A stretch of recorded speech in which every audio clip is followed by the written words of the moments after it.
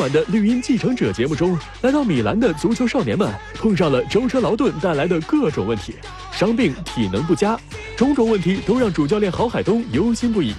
为了让大家在休息时间能够尽量放松，领队王涛适时发挥出了段子手的本事。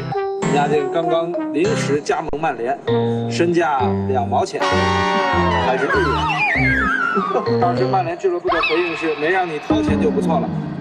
还带大家做起了造型。我们在米兰找了一家特别酷的造型实验室。知道什么是欢声吗？知道什么是时尚吗？你看。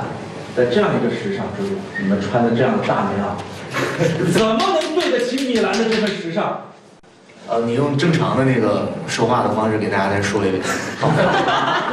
放松过后，旅程继续。新的一天，大家来到了享誉世界足坛的意甲豪门——国际米兰足球俱乐部。国际米兰与 AC 米兰一起铸就了米兰城伟大的足球传奇。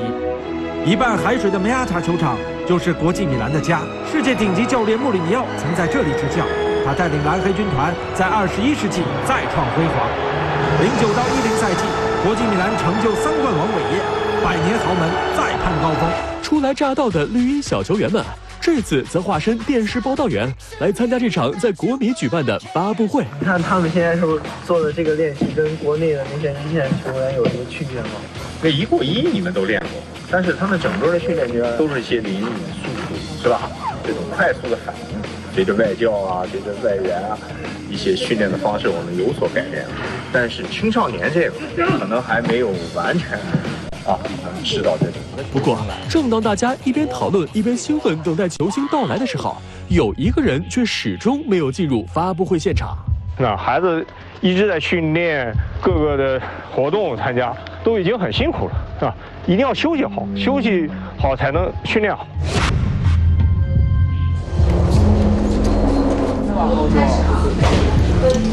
咱们咱们待会儿注意，马上要开始了。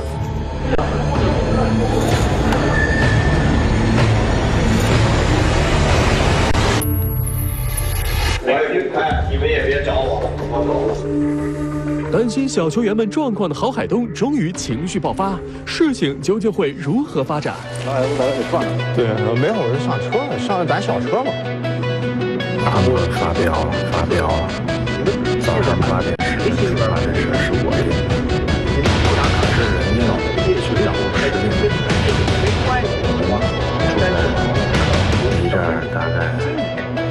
四十公里的地方，从八点钟出发，到不了啊。发布会是否能够顺利举行？小球员们之后还将见到哪些足坛大咖？一切未知，敬请锁定今晚九点四十分，浙江卫视《绿茵继承者》娱乐工厂编辑报道。